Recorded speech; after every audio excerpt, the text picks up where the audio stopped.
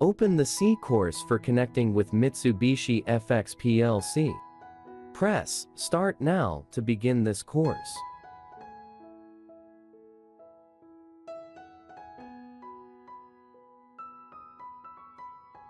Here, I have created a simple project with Mitsubishi PLC.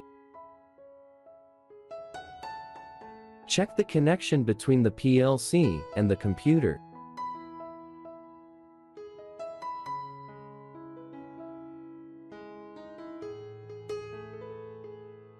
If the COM port appears, the wiring has been successfully connected. Here, I'm using COM5 port. Back to GXWorks software and check the connection.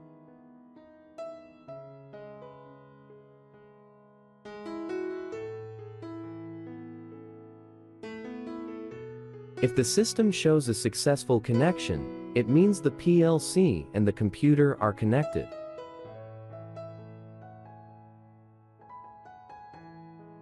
Download the program from the computer to the PLC.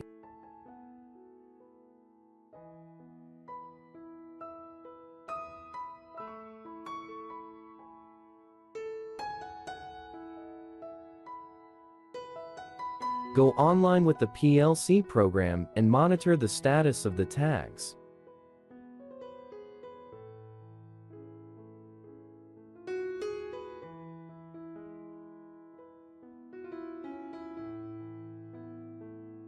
Open Visual Studio software to start programming.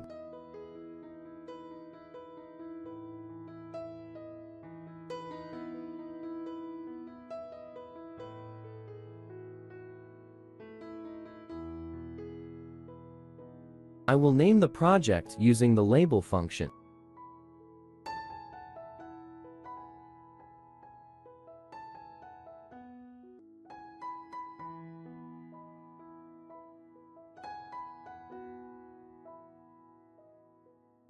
Use this command to install the DLL for connecting FXPLC with C.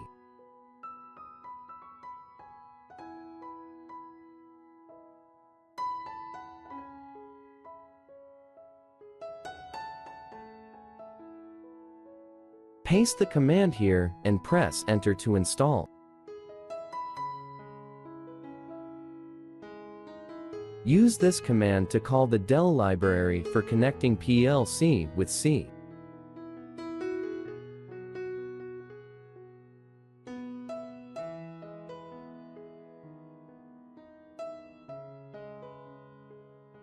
Declare a new PLC using this code.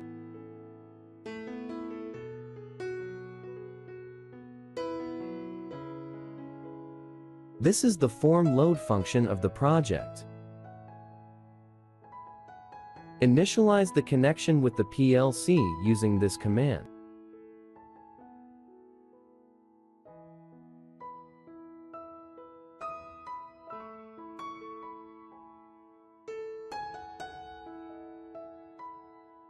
This is the ID of the computer's COM port. You need to set it accurately with the COM port ID of the cable connecting the PLC to the computer.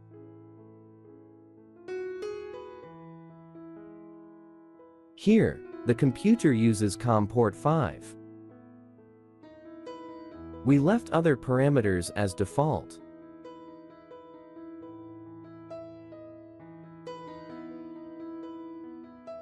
Call the PLC connection function in the form load function with this code.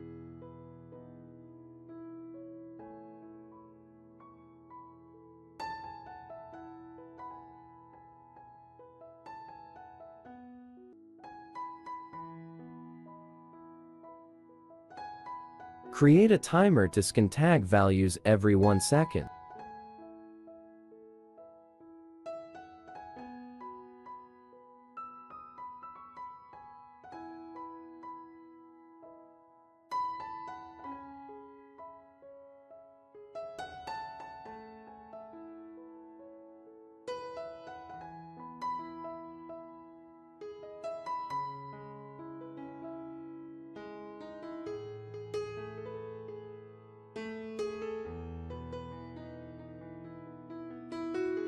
This is the command to read tag values in bool data type.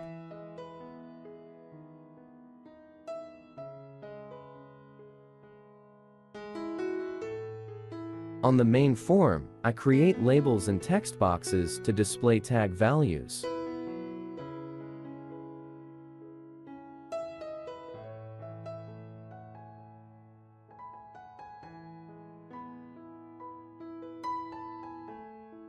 Set up text boxes to read bool tag values.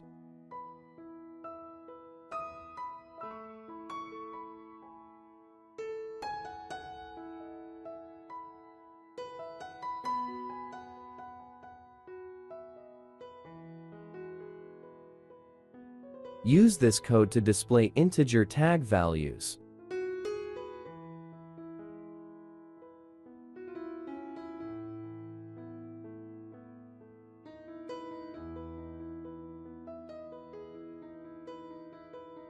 Here, I'm reading integer tag values.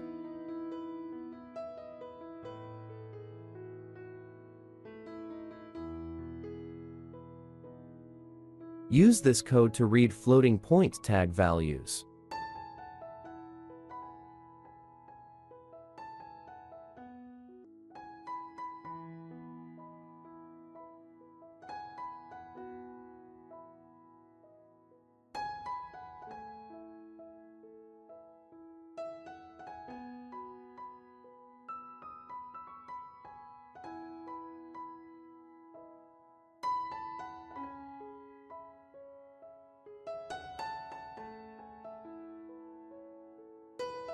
Use this code to read string tag values.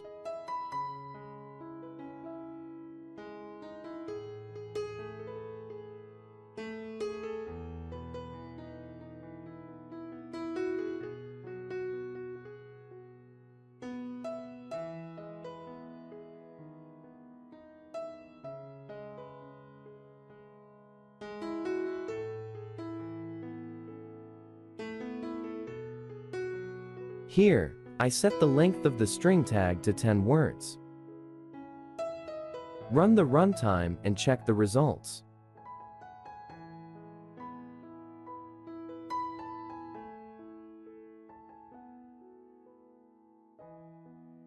I will set some values for the tag.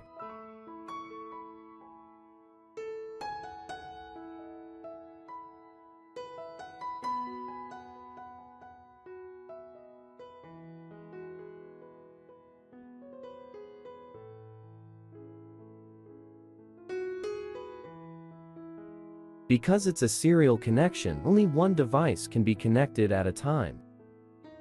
So, I have to go offline with the PLC first. At this point, the tag values are displayed on C. Only the string is not displayed yet.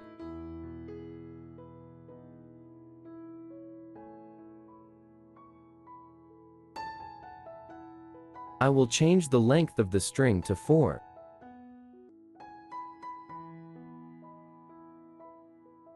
And add four tags starting from D100.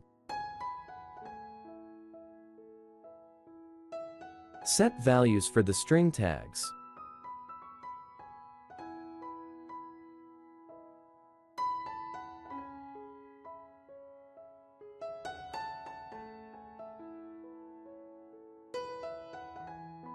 Run the runtime and check the results.